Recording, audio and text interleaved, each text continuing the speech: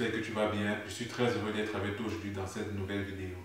Alors dans celle-ci, on analysera l'affaire qu'il y a eu entre Will Smith et son épouse l'année passée et les leçons qu'on peut en tirer. Je te donne rendez-vous après le générique.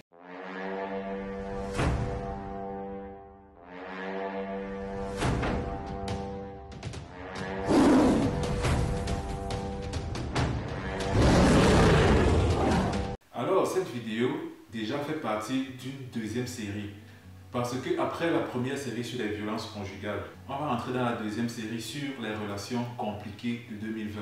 Et dans celle-ci, on va analyser les relations des célébrités. Pourquoi est-ce que j'ai choisi les célébrités? Parce que voilà, les célébrités, justement, sont connues par tout le monde.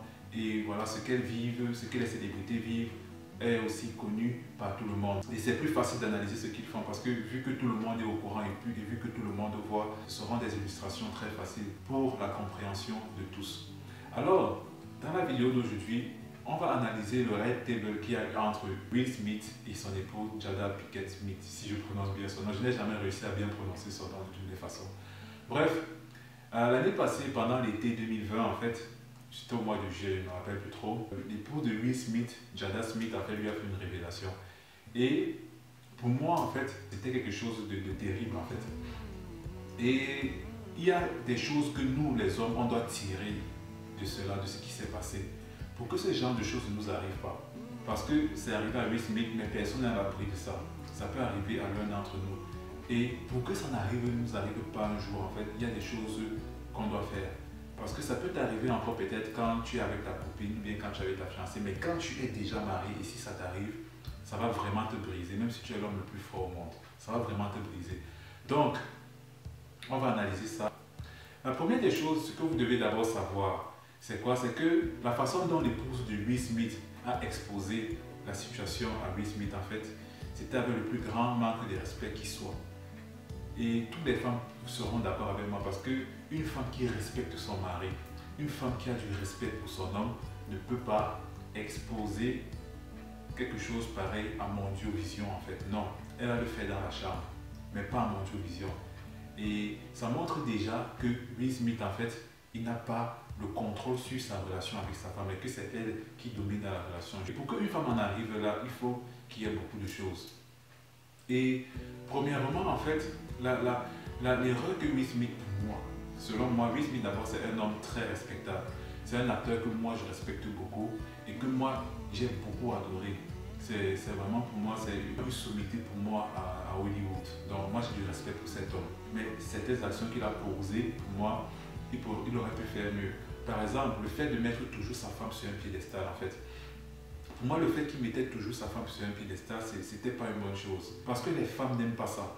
Les femmes peuvent aimer que vous la mettez sur un piédestal une à deux fois par an en passant, mais pas tout le temps.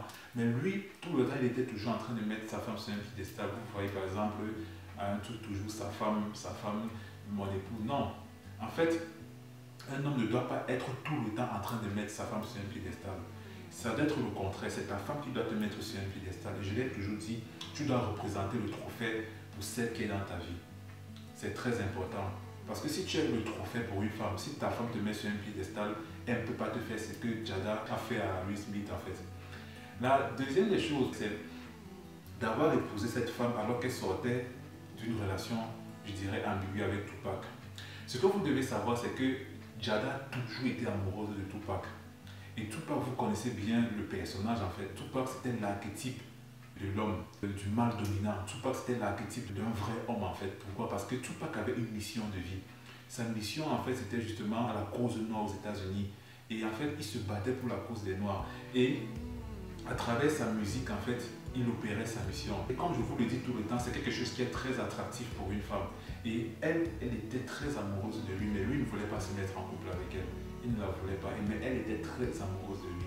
Et quand il est mort, Smith étant conscient que cette femme est amoureuse de Tupac, il l'a quand même épousée moins d'un an après la mort de Tupac. Et c'est ça, c'est une erreur que parfois on fait, que beaucoup d'hommes nous faisons en fait, c'est-à-dire de, se mettre en couple avec des femmes, bien d'épouser des femmes qui sortent fraîchement des relations. Et pour moi, ce n'est pas quelque chose que je peux conseiller. Surtout si elle sort d'une relation dans laquelle elle était vraiment, vraiment amoureuse de la personne et peut-être ça s'est mal terminé. Pourquoi Cet homme a laissé une empreinte en elle? Comme Tupac, il a laissé une empreinte à Jada. Pourquoi? Parce que leur fille, Willow Smith, avait fait une révélation il y a deux ou trois ans de cela. Je ne me rappelle plus trop, mais elle a fait une révélation dans laquelle elle disait que sa mère est toujours amoureuse de Tupac. Et comme je vous l'ai dit, en fait, ce type d'homme charismatique qui suit sa mission de vie, qui se bat pour une cause, les femmes adorent ce type d'homme. Et ce type d'homme peut potentiellement laisser une empreinte définitive chez une femme. Elle ne l'oublie jamais en fait. Et c'est ça qui est arrivé. Donc, Will Smith par contre, contrairement à Tupac, Will Smith ce n'est pas quelqu'un qui se bat pour une cause en fait. Will si je te demande, mais pour quelle cause Will Smith se bat, je ne pense pas que tu puisses me répondre. Je ne le juge pas. Mais je dis simplement que contrairement à Tupac, il ne se bat pas pour une cause. Il n'a pas, pas une mission de vie visible en fait en dehors de son métier d'acteur, il n'a pas une mission de vie visible en fait. Il n'a pas une cause supérieure au-delà de ça pour laquelle il se bat. Comme je le dis tout le temps, un homme qui n'est pas dans, sa mission de vie n'est pas complètement dans son énergie masculine. Et quand un homme n'est pas complètement dans son énergie masculine, en fait, sa compagne va commencer à se désintéresser à lui. Et je l'explique très bien dans mon livre, Devenir un homme extraordinaire. Comment est-ce que ça se fait? Comment est-ce que ça s'opère? Comment est-ce qu'un homme arrive à perdre l'intérêt de sa femme? Je l'explique très bien dans mon livre. Et c'est ça. C'est-à-dire, Will Smith, je pense qu'avec le temps, il a perdu sa femme a perdu de l'intérêt pour lui, en fait. Donc euh, voilà, je voulais plutôt dire, je, le dis dans, je dis dans mon livre comment une femme perd l'intérêt pour son homme avec le temps, quand celui-ci n'est pas dans son énergie masculine. J'explique aussi comment un homme doit faire, ce qu'un homme doit faire pour être dans son énergie masculine. Donc je pense que Jada a perdu de l'intérêt pour Will Smith avec le temps parce qu'elle s'est rendue compte que bon, il n'a pas, pas l'énergie masculine en fait que Tupac avait. Parce que Tupac avait ça, même quand tu le vois, il dégageait cette masculinité en fait. Parce qu'il avait cette énergie pour la cause pour laquelle il se battait. Contre, Will Smith, non. Ah, ce n'est pas ça en fait. Par contre, je ne le critique pas, j'insiste bien là-dessus. Je ne critique pas la personne.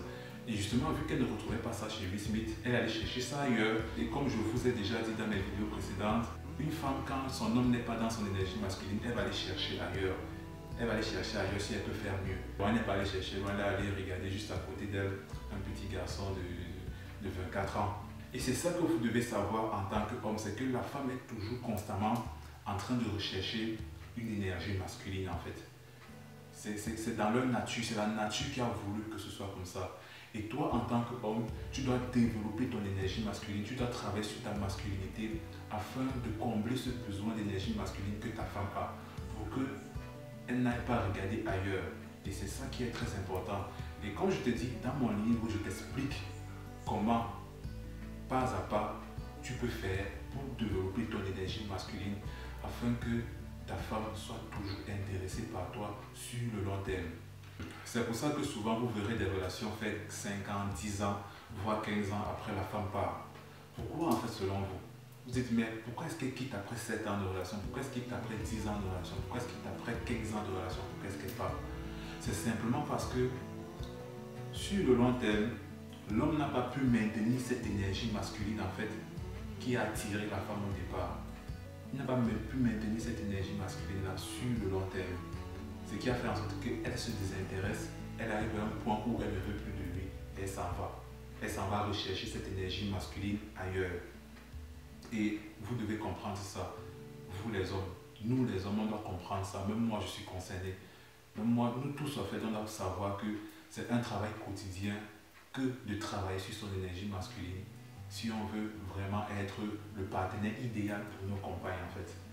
Pour qu'elles n'aillent plus regarder ailleurs, à gauche, à droite. Et c'est important. Aujourd'hui, je vois dans beaucoup de relations les femmes tromper leur gars, leurs copains.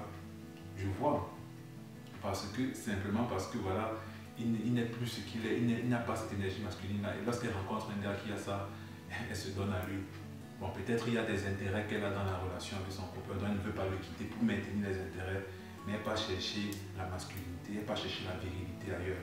Et la virilité, comme je vous ai dit dans ma vidéo Es-tu viril que je t'invite à regarder, ce, n'est pas les muscles, ce ne sont pas les muscles, pardon. Ce ne sont pas les muscles, c'est un état d'esprit. Donc voilà, dans, cette vidéo, je t'ai un peu expliqué, pour moi, selon moi, certaines erreurs que Will Smith a pu faire qui a fait en sorte que sa femme se désintéresse de lui et se retourne vers un jeune garçon qui a moins de 20 ans qu'elle. Alors, je te remercie d'avoir regardé cette vidéo jusqu'au bout. J'espère que voilà, ce que je t'ai dit un peu plus t'édifier en fait sur la dynamique des relations homme-femme et sur ce que toi tu peux faire en fait dans tes relations pour que celles-ci durent sur le long terme. Et franchement, je t'invite à acheter mon livre Devenir un homme extraordinaire. Parce que dans ce livre, je consacre trois chapitres, voire même quatre chapitres sur le sujet de la masculinité d'un homme. Sur le sujet, sur ce sujet. Pourquoi? Parce que pour moi, c'est important en fait. C'est important pour un homme d'être masculin, d'être dans son énergie masculine en fait. Parce que c'est grâce à ça qu'il qui va conquérir le monde, si je peux dire ça comme ça. Je te remercie d'avoir regardé cette vidéo jusqu'au bout. Et je te donne rendez-vous dans la prochaine vidéo. On parlera du célèbre basketteur Scottie Pippen qui a joué aux côtés de Jordan et qui aussi vit quelque chose de très difficile en fait dans son couple. Et on va aussi analyser ce qui traverse dans son couple et la leçon que nous, en tant qu'hommes, on peut tirer en fait de ça. Alors, je te donne rendez-vous dans la prochaine vidéo. Ciao